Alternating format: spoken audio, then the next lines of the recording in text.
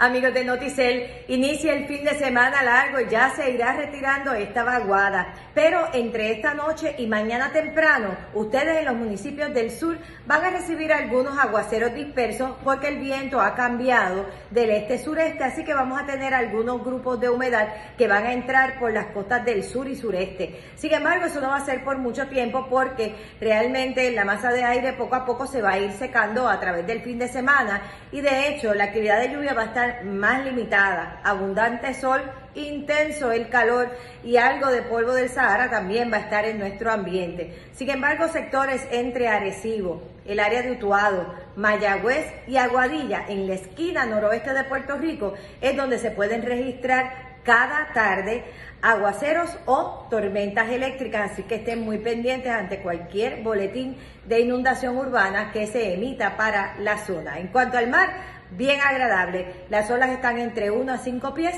y no hay advertencias. Para Noticel, esta es su meteoróloga Ada Monzón.